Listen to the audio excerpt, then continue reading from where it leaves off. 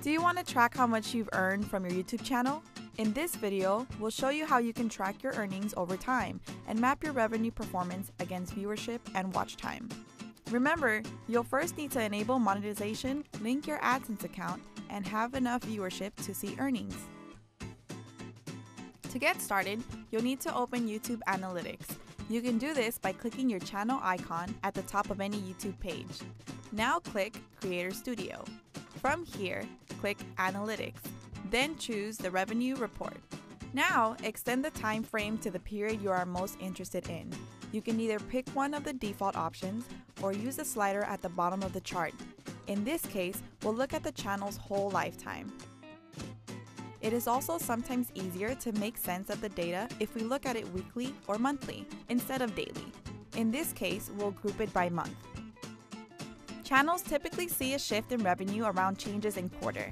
We can see a shift in revenue from December to January, for instance. We also see one in February, when this channel had a particular breakout hit. There are a number of ways to do additional analysis of this data, but one that is especially useful is to compare how much you are making with respect to the growth of your viewership or watch time. To easily see this in YouTube Analytics, click on the Compare Metric button and select Watch Time. Do the lines match up, or are you seeing places where you've increased watch time in orange, but haven't seen a corresponding increase in earnings in blue? We can see that is happening here at the seasonal shift at the start of the year.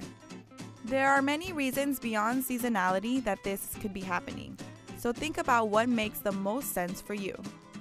Here are some things to think about.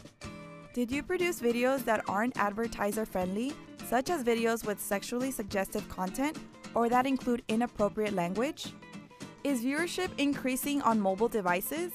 You might see less revenue from mobile viewership. Has the demographic mix of your audience changed? Some countries get higher ad rates than others. Want more tips? Click this card to subscribe to the Creator Academy channel.